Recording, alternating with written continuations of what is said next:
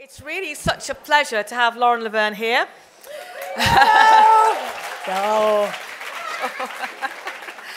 Uh, and uh, it, it's actually become quite an illustrious little seat, this, because uh, Maxine Peake was here last year, and the year before there was Jessye Norman, I think Cherie Blair was the year before, etc. So we only choose, you know, absolutely excellent women. um, and there are two this afternoon who are going to talk. And we, you know, the, the, a lot of you have just been mentored or been mentored, been mentoring, or whatever. And uh, so we just started a conversation, really, Yes, we've started the interview already. uh, Backstage, didn't backstage. so much to talk about.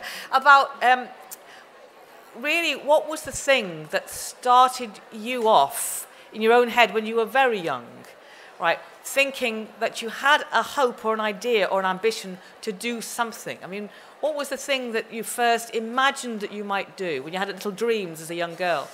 Well, um, I always thought that I would go to university and become an academic, like, like my dad. Um, that was what my dad did, that's what he, he does. And so I always assumed that would be what happened uh, to me. And I went to a very strict convent school when I was a teenager. And so, therefore, my mum and dad had this very kind of like musical, liberal, intellectual family. My mum and dad were uh, council house, uh, council estate kids who had gone to um, grammar school. So I had a very loving working class in terms of culture, uh, family, very musical household, and uh, I loved music. And because I had this very strict kind of school that I was going to, my mum and dad, as a reward really for working hard at school, indulged my love of music and they kind of really supported me. And, and also because it was something that, you know, they loved themselves. Um, and that was supposed to actually be a distraction and then weirdly that just kind of accidentally became the thing that I did so I was supposed to go to school and get all the qualifications then do A levels and then go to university but then actually when I was 16 what happened was I formed a band with my school friends, my two friends at school. The only ones, you mean? Only got the two, so you'd better be in the band. And we, you know, we were the only girls who liked music in our uh, school that I really knew about. We started a band and um, we were picked up. John Peel played us on the radio, and then uh, we ended up signing to EMI and, and moving down to London. And, and then I fell into doing what I do now, really. Well, that's simple. but was it really that simple that you, you formed a band and you were picked? I mean, you must have. Did you ever think, oh God, you know, that's going to be an unusual decision to form a band and not go to university and not do what, not do what my parents and my, my nuns at school expected me to do? Well, it's funny because I think in a weird way, I have kind of retraced my parents' journey. You know, my dad and my mum and dad grew up in very large um, families. My mum's one of nine, my dad's one of six. And they both grew up on, as I said, uh, tough council estates, which were, in those days were actually, you know, um, really safe and lovely places to live, but no, not much money. Um, and then because of their journey through grammar school and into kind of professional life, you know, they, and me, my dad's written about it. My dad wrote an article for, I think, the Times Higher about his experience of, you know, his dad was a miner and feeling like dif- different, having just a different experience. And it's been strange because in recent years, as my career's taken off a lot more, uh, it's occurred to me that actually, in a strange way, I'm kind of recreating their journey, although it's into this kind of weird media world, which is just mad. But you know, kind of away from that that you know you middle mean you're class. Not, you're not taking the path that was expected of you. I'm not just doing you know, replicating different. that kind of uh, middle class household. I'm I'm I'm doing something different. And when you formed a band at 16 and you were signed up, I mean, there weren't then, and there still are very few girl bands. I mean, we just had a look at all the statistics for all the fest- music festivals this summer. Oh yeah, the Reading poster with all the yeah. And, you know, Yeah. take away seven bands. That, that's all. I think there were seven bands that were girls, women, and the rest of it all blokes. So, I mean, it couldn't have been a great climate then either, could it? Uh, no, it was a very misogynistic um, music scene, and uh, unfortunately, it still is. I mean, I, I hosted a Q and A three weeks ago at the Six Music Festival in Newcastle with two female musicians, and one of them, Beth Jeans Houghton, who is uh, from um, Newcastle, she, we were talking about, uh, I was saying, you know, when I was 16 and I was in a band, people used to say to us, who writes your songs for you? Like, just genuinely. And someone had said it, I was like, it's, it's better than that now, isn't it? And she was like, no, no, someone said it to me yesterday. And I was just so pissed off and kind of sad, you know, that, that it's still, people are still coming up against the same things. I, I tweeted that bill, you know, that picture of the Reading bill with um, all of the male acts all male acts removed. And rightly, it was retweeted, and a lot of people uh, talked about that. Um, I think it's unfair to, in some ways, to pick on Reading because I think it's a structural problem yeah. in the music industry. You know, they're they're part of that, but it's not like it's their fault. They're at the other end of that. I think there's there's structural inequality in the music industry and in the media, uh, and that's the problem. Really, it's not you know the people who are booking a festival and picking from the artists that are currently working and currently around, you know, they've got they've got a, a hard job to do. It's kind of like back here somewhere this problem, and this is where we've got to, you know, get girls making music and get them represented and, and get them into music. You know that when I was growing up, there was there was a guy in a record shop who would not sell me albums because he didn't want to waste them on a girl, you know, and and it's and I I just thought like that's weird, and then. You know, later on, I started to think because I just went back when he wasn't in, when he wasn't on shift. But then I got older and I sort of started to think, well, what about the people who never went back? What, where were they? And, you know, I often sit with like my friends who are, sometimes, you know, you, you might be used as an example of, oh, well, there can't be a kind of structural problem because, you know, look at people like Caitlin Moran and Lauren Laverne and they've, they've done what they've done. And, but there should be, there's loads of us. I know loads of people that are like me and Caitlin. Why are why are we the ones on stage? You know, there should be more of us here, and that's because there is structural inequality yeah. that needs to be addressed. I mean, usually if there's four women, that's deemed to be enough. Job done. If there's one of you on a panel show, you must have snuck in dressed up as a man. I mean, you know. It, but okay, so 16, and were you aware? I mean, obviously you were aware that there was a kind of uh, an attitude because the guy wouldn't sell the, you the records. But who was it that encouraged you to say, look, forget it. Doesn't matter if they don't agree with you. It doesn't matter if they don't want you. Do go for it anyway. What was it? I didn't think it was because I was a girl. This is the thing. When when I was in a girl band, we had one boy, which was my brother and whenever we got uh, flack from people or were, were, treated badly, he used to say, he used to say, it's because we're girls, right? So he was a feminist, but and we used to think it was hilarious. We used to take the mick out of him for it. Because they were like, no, don't be daft. Because in my head, I was Iggy Pop. You know what? I didn't really think about being a girl. I was walking around pretending to be Iggy Pop. I wasn't thinking like, oh, I'm being a girl now. I mean, you, you know, it's that thing of the lenses other people see you through. I think as James Baldwin talks about that. You don't see out of that. You know, you, you're, you're just you. So it wasn't until I got kind of a lot older and hopefully a bit wiser and thought, oh no, hang on, that's what was going on. I didn't realize that dynamic was there, but it was there all the time. And, and that's when you, you kind of start to think, well, where are those people who were, were chucked out of that guitar shop or you know told they couldn't play a gig and then just went oh this isn't for me then I'll go and yes. I'll go and do something else I heard a really sad story about uh, somebody who worked here actually and she took her guitar to university thinking she'd be able to join in lots of bands she, she couldn't get one group of boys to have her in her band in the band at all. And I suddenly realised that's why you get all those girls playing the guitars on their own because mm. they're not allowed to join bands. well, they're the ones getting signed. The so I mean, you know, and, and again, that's the thing people say but look at the female solo artist, you know, who's selling records now, and it's Adele, and it's this, and Adele is great, you know, she's fantastic, and, and Laura Marling is wonderful, and there are loads of brilliant female singer-songwriters, but who owns the record companies? Who's really making the money? And, and that is not the same picture, and, and it's really dry and really boring, but that's the stuff that you've got to look at. It's not the kind of shiny who's on stage stuff, it's who's making the decisions yeah. and who's making the money who's telling the story, Who who's in charge the of the story. Yeah. Who's the CEO, you know? But you obviously had parents, or, um, I think you told me particularly your mother, who kind of championed the idea of your energy. Is that right? Yes. Um, yeah, no, I mean, my mum is, uh, she still is, you know, she's incredibly supportive. She's um, emotionally supportive and really practically supportive. You know, she, her and, and my dad both are, and look, looked after my boys tons of times. So, you know, every time I'm at Glastonbury, they're there with my husband usually looking after um, my sons so I can work. Yeah. But when you were growing up, you know, you were saying earlier that um, you had images of women, that you had images of your your nuns who are not sure that The you nuns. were that keen on it at the time, Yeah. uh, but you know, women who de- who were determined that you would get educated. Well, it's funny. The miners' strike women. Yeah, I mean, it, it, it was a sort of funny time, really, I suppose, the 80s and 90s when I was growing up and I was at school. Because, on the one hand, in the Northeast, you know, it was this um, really hard time. And, you know, my dad's dad was a miner, my mum's dad worked in the shipyards, and the miners' strike was on, and the shipyards were closing down. It's this very sad, kind of politicised time, but, but uh, it, that kind of made people into activists who otherwise wouldn't have been. You know, there was the great film Pride recently, which, which showed that story. And, and what I loved about that, I, I mean, I loved the story of the, the LGBT activists, you know, raising money for the miners. That was wonderful.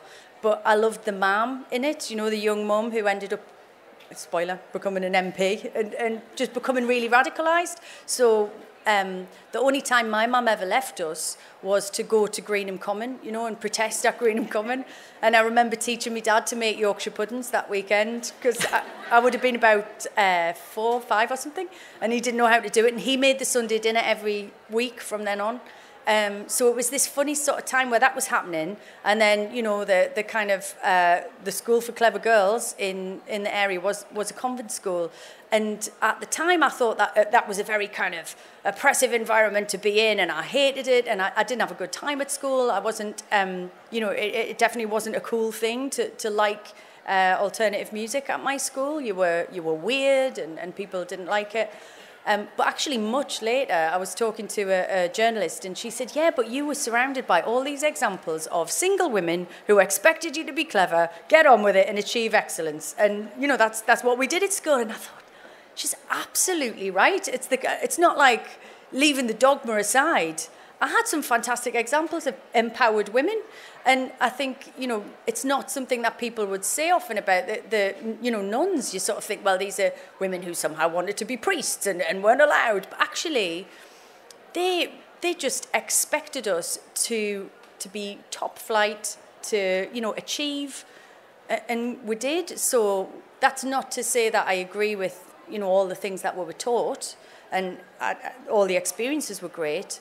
But actually, that kind of practical example of women just getting stuff done was, I think, really useful.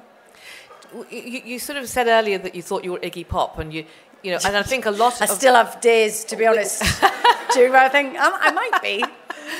Uh, and we, I mean, I think most people would know that, like, you don't necessarily think you're a girl or a woman. I mean, you know you are one, obviously, but it, you know you don't expect to take up the kind of flag for being a girl or a woman. Yeah. You just think you're going to have your life. Yeah. And there comes a moment, maybe it certainly did for me. Or I think you have for you when you suddenly think, oh, there really is actually an issue Yeah. about equality, and I am a woman, and I've experienced it, and I, now I'm going to talk about it. Yeah. So Well, the glass ceiling doesn't look like it's there until you hit it. You know, it's it, it's everything's everything's groovy when you're, you're 22, and you know you can work all day, and that's not a problem, and you know you can stay late at the office, or you can. That's that's that's fine. You know, you start off in this this career, and it's all it's all brilliant, and then you know you have a baby, and soon it's like bang. What are you going to do? You know, you've got to pick that uh, child up, or you've got to find them childcare, and, and you know you just you you notice those things when you come into contact with them. It's natural, isn't it? So, I mean, I think that's just the way. It's So I mean, obviously there are, you know, there are other, there are glass ceilings that people have of different kinds depending on their life experience. But when you hit the glass ceiling, and you obviously hit it in your own domestic circumstances, just because of the, the normality of domestic life, but did you decide that you were then going to start talking about it? Because in a public space, a lot of women choose to avoid, you know, being, if you like, a, a woman who calls out misogyny or calls out sexism. But you actually are, are bold and you talk about it. I mean, I definitely uh, feel like I have a responsibility to tell the truth. If someone asks me a question, I want to answer honestly. But I also feel a responsibility to just get on with it. I kind of feel like I just want to make an alternative. So, um, you know, I've had some great experiences in my career, and I'm really lucky because I have a supportive husband. He is looking after our kids now. You know, that's that's where they are. He looks after them so that I can do this. So actually, I've quite a weirdly traditional setup. You know, he looks after them. I go to work, but that doesn't, you know, that doesn't mean that it's it's not that easy for for everyone. It's hardly that easy for anyone. We're incredibly lucky to to have that um, possibility, to have that as a possibility in our lives.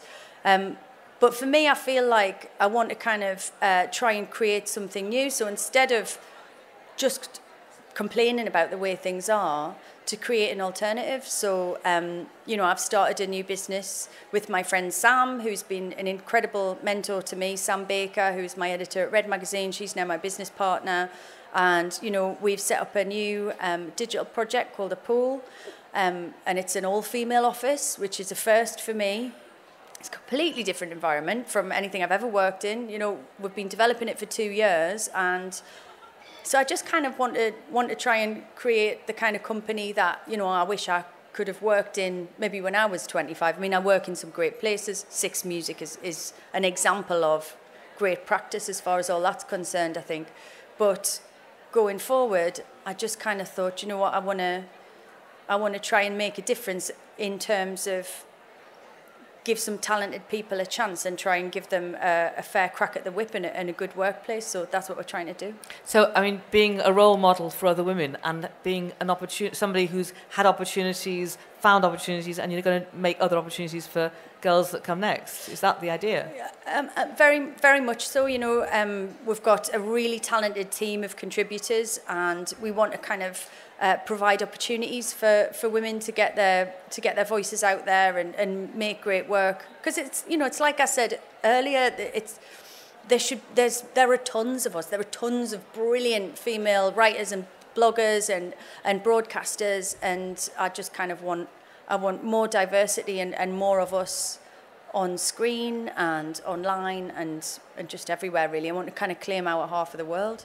It, I, I We'll come back to claiming half the world minute. That's a fantastic Not just phrase. for me, but you know, Yeah. I mean, for, for all of us. The, the, the classical music space for women is also you know, horrific in all kinds of ways. You know, when Marin Alsop was the first woman to conduct the last night at the proms, we had uh, male conductors around the world saying, well, women can't really conduct.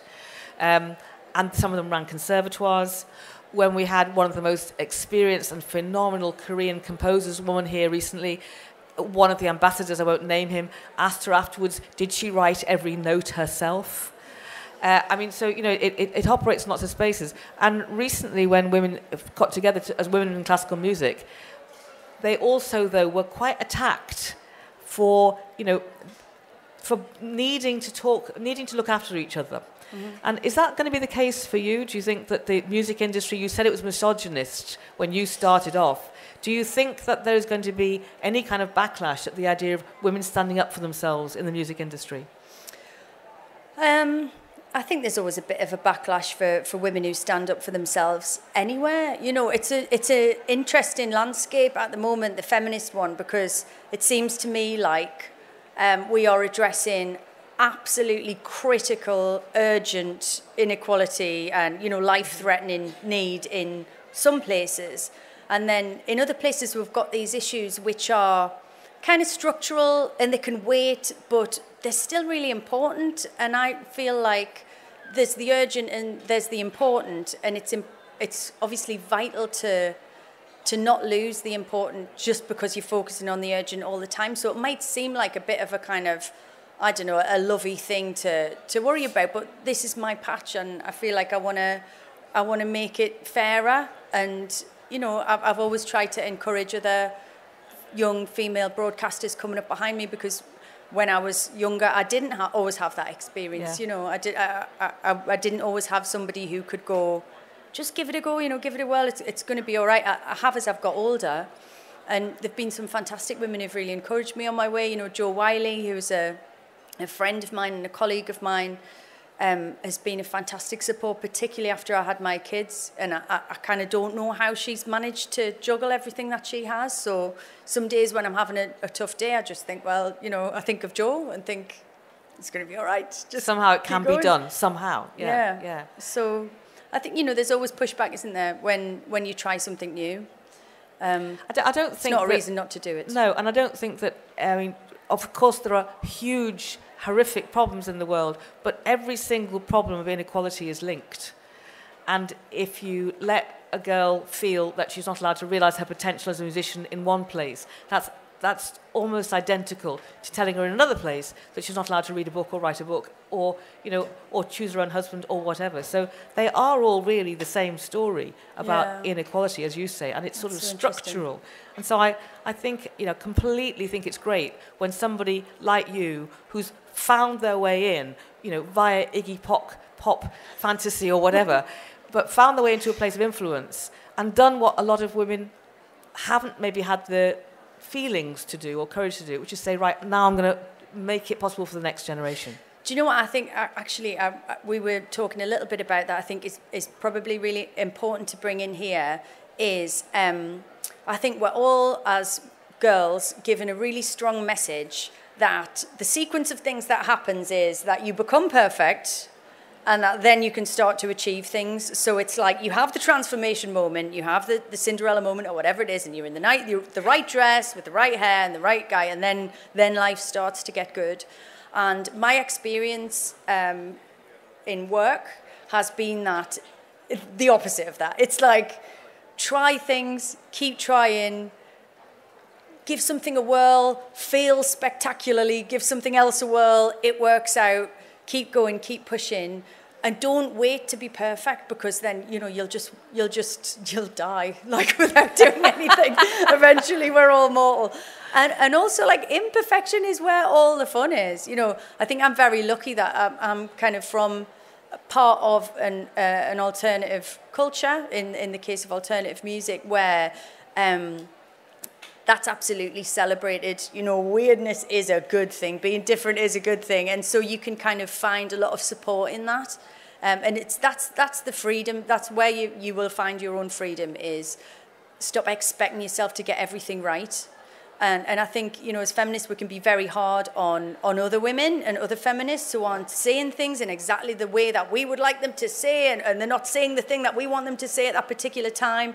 And, you know, my friend at Caitlin Moran, she says, and I think she's right, feminism is this, it's like a quilt, you know, and we all make this, if we can all make a square, then we can make something absolutely incredible. But if we wait for one woman to come and, and one perfect woman to come and solve the whole thing, we are just going to wait forever. So it's, it's got to be about uh, allowing for imperfection because, you know, as well as being women, we're all human.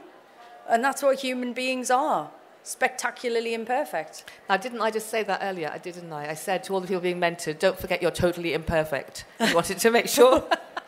well, listen, that was uh, not perfect, because that would be hubris to say that it was a perfect interview, perfect. but it was damn near a perfect interview, wasn't it? Lauren Laverne. No, thank you. Thank you. Thank you. Appreciate it.